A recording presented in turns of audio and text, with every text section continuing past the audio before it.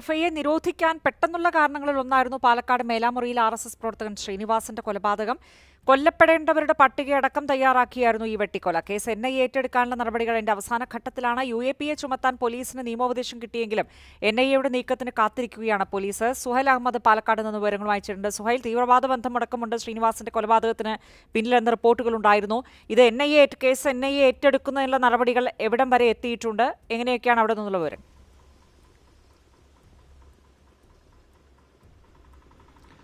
ആ, രജനി ശ്രീനിവാസം കൊലക്കേസിൽ N I എയുടെ ഇടപെടലും പോലീസിന്റെ ഇടപെടലും രണ്ടിലും ഒരു വ്യക്തത വരേണ്ട സമയമായിരിക്കുന്നു എന്നാണ് നമ്മൾ മനസ്സിലാക്കുന്നത്. കാരണം പി എഫ് ഐയെ നിരോധിക്കാനുള്ള പെട്ടെന്നുള്ള കാരണങ്ങളിൽ എണ്ണിയ പ്രധാനപ്പെട്ട ഒന്നായിരുന്നു ശ്രീനിവാസം കൊലക്കേസ്. അതായത് സുബേർ കൊലക്കേസിന്റെ പ്രതിക്കൊലയായിരുന്നു ശ്രീനിവാസം കൊലക്കേസ്. സുബേർ കൊല്ലപ്പെട്ട് ഇരുപത്തിനാല് മണിക്കൂറിനകം ശ്രീനിവാസൻ കൊല്ലപ്പെടുന്നു. അതായത് കൊല്ലപ്പെടേണ്ടവരുടെ പട്ടികയുണ്ടാക്കി കൃത്യമായി ആളെ കണ്ടെത്തി വെട്ടിക്കൊന്നു.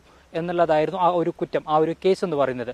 ഈ കേസിൽ ഏകദേശം അൻപത്തിമൂന്ന് പ്രതികളുണ്ട്. നാൽപ്പത്തിരണ്ടോളം പേരെ അറസ്റ്റ് ചെയ്തിട്ടുണ്ട്. കോടതിയിൽ പ്രാഥമികമായിട്ടുള്ള കുറ്റപത്രവും സമർപ്പിച്ച് കഴിഞ്ഞിട്ടുണ്ട്.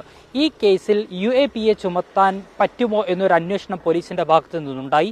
അങ്ങനെ പ്രോസിക്യൂഷൻ ഡയറക്ടർ ജനറൽ ഓഫ് പ്രോസിക്യൂഷനോട് നിയമോപദേശം തേടിയിരുന്നു. നിങ്ങൾക്ക് വേണമെങ്കിൽ യു എ പി എ ചുമത്താം എന്നുള്ള നിയമോപദേശം പോലീസിന് കിട്ടിയിട്ടുമുണ്ട്. പക്ഷേ ഇതുവരെ എന്തായാലും പോലീസ് നിലവിൽ യു എ പി എ ചുമത്താനുള്ള ഒരു അന്തിമമായ തീരുമാനമെടുത്തിട്ടില്ല. കാരണം ഈ കേസ് എൻ ഐ ഏറ്റെടുത്തേക്കും എന്നുള്ള ഒരു സൂചന പോലീസിന് ലഭിച്ചിട്ടുണ്ട്.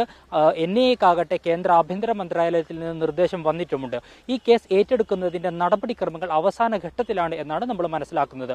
അതുകൊണ്ട് തന്നെ എൻ ഐ എത്ര വേഗം ഇത് ഏറ്റെടുക്കും? അത് ശേഷം ഇതിൽ യു എ പി എ ചുമത്തുന്നതിൽ അന്തിമ തീരുമാനം എടുക്കാം എന്നാണ് നിലവിലെ പോലീസിന്റെ ഒരു തീരുമാനം.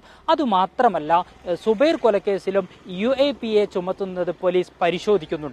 അങ്ങനെയെങ്കിൽ ഒരു പക്ഷേ ശ്രീനിവാസൻ കൊലക്കേസിനോടൊപ്പം തന്നെ സുബൈർ കൊലക്കേസും ഒരു പക്ഷേ എൻ ഐ എ ഏറ്റെടുത്തേക്കും. അത് ഒരു കേസിൽ മാത്രമായി യു എ പി എ ഒതുക്കേണ്ടതില്ല.